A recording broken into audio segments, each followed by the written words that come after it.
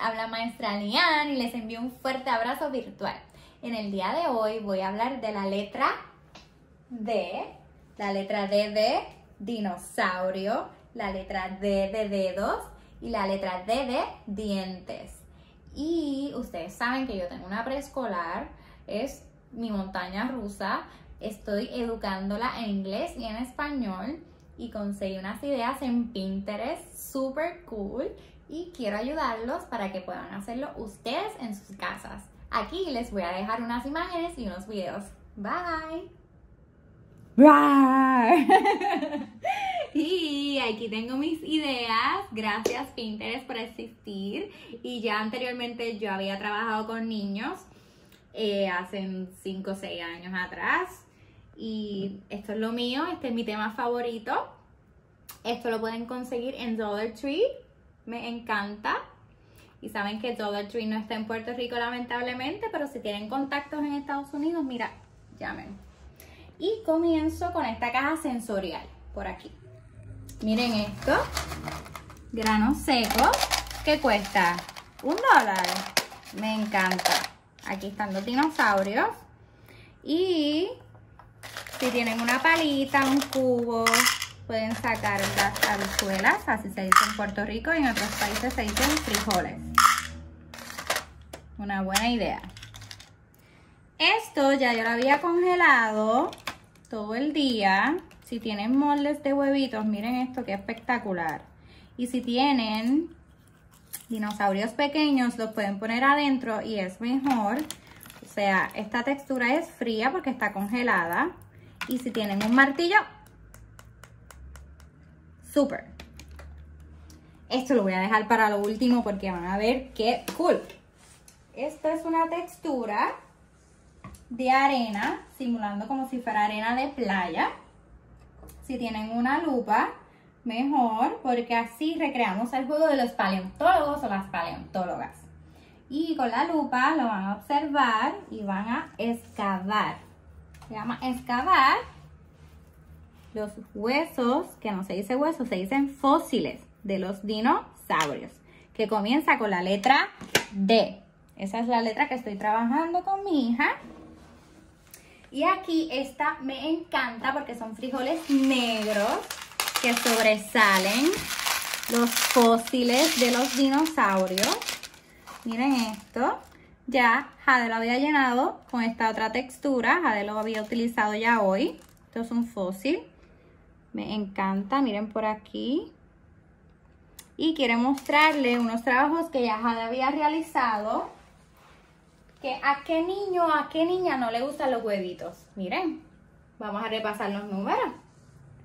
Aquí coloreó, trazó los números y trazó su nombre. Aquí recortamos el fósil y lo montó. Aquí esto es la técnica de acuarela y los nombres de los dinosaurios. Y este es mi favorito porque está laminado. Ya ya lo había rellenado anteriormente con plastilina y lo había trazado con marcador. Y por último le pegamos unos stickers y identificó la letra D, que eso es lo que queremos. Aquí conseguí baking soda y ya dejé la receta en mi página de Instagram. Es con colorante, solo es una cucharada. Vas a dividir los tres envases y le vas a echar un poco de colorante. ¿Quieren ver cómo activamos esto? No tengo gotero, pero tengo, miren, un sorbeto, así se le dice en Puerto Rico. Lo vamos a activar con un poco de vinagre. Vamos a ver con mucha supervisión, claro está, que no se les olvide. Y vamos a ver si activamos esto. ¡Wow! ¡Qué experiencia multisensorial!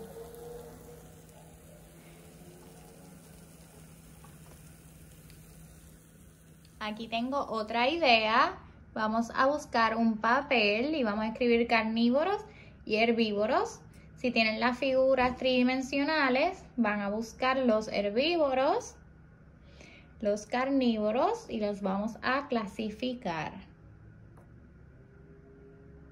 También podemos hacer si son más pequeños y no entienden mucho el concepto de carnívoros y herbívoros.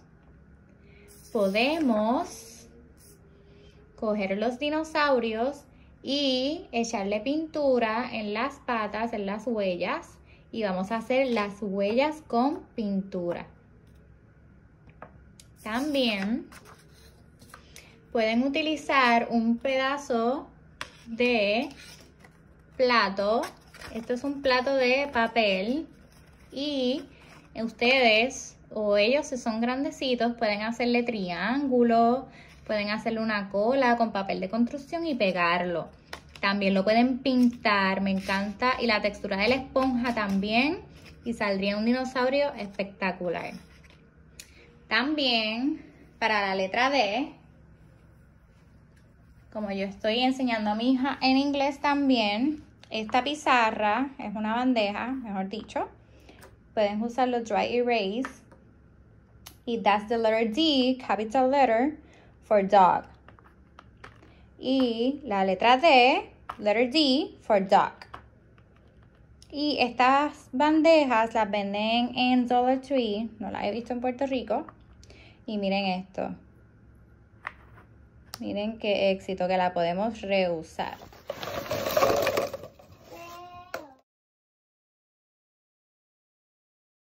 ¿Cómo se llama este? ¿Y cómo se llama este? Este, este, este Este gosaurio. ¿Y cómo se llama este? Toto, Pterodáctilo. ¿Y cómo se llama este? ¿Y este cómo se llama? ¿Cómo se llama?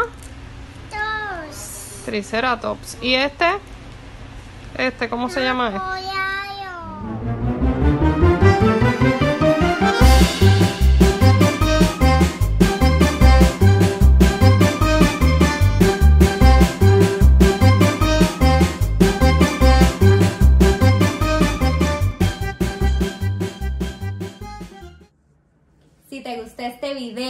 dale like, comenta, compártelo. Gracias por escribirme a mi email mundopreescolarpr.com. Sígueme en la página de Instagram mundo underscore preescolar PR y aquí en YouTube. Vamos, dale like, suscríbete. Con amor, Maestra Lian.